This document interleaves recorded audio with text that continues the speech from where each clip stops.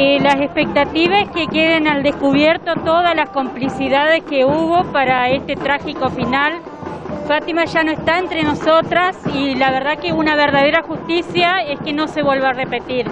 Lamentablemente las actuaciones de todos los organismos del Estado que estuvieron involucrados en esta causa, lamentablemente digo causa porque no debería ser así, eh, bueno, tuvieron complicidad y, y llevaron a Fátima, digamos, a, a las manos de este femicida. Para nosotros es muy importante que pueda ella dar testimonio porque hablamos de una violencia que fue recurrente por parte de Martínez, ¿no? Y porque también la defensa intenta decir y sacarle culpas al accionar del femicida y la realidad es que Martínez ya tenía denuncias previas, Martínez eh, tuvo denuncias muchas por parte de Fátima, de hecho quizás ustedes recuerden que Fátima lo puso en, en un audio a esta situación y dijo eh, cosas que estremecen, ¿no? Como quizás cuando esté muerta la policía y la justicia hagan algo.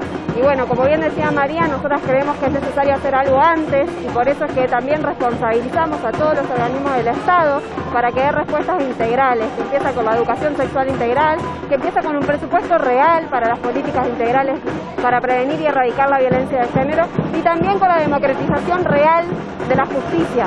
Hoy en nuestra provincia este juicio se está llevando adelante con un paso importante que es un jurado popular, pero que no es suficiente. Sin revocabilidad de mandato y sin elecciones de los fiscales y los jueces por voto popular, la justicia va a seguir siendo clasista y patriarcal. Por eso es que necesitamos transformaciones profundas de verdad y no solamente discursos y relatos vacíos.